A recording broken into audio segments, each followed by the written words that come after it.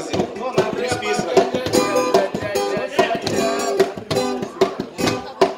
Вот как двигалась эта картина Я был как художник, влюбилась постоянная любовь Которая, как мне казалось, я выдумал сам И она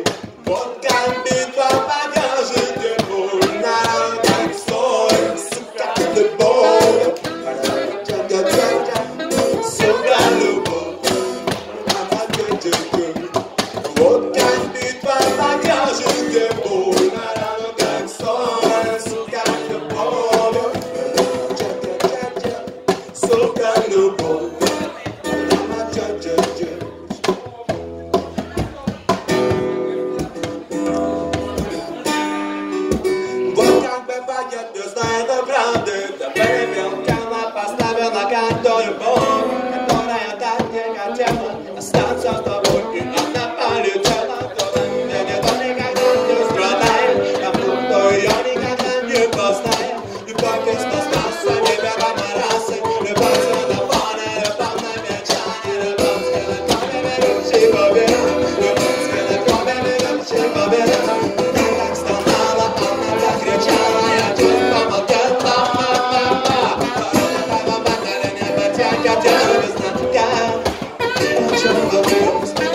제가 만약 어벤데를 매직합니다.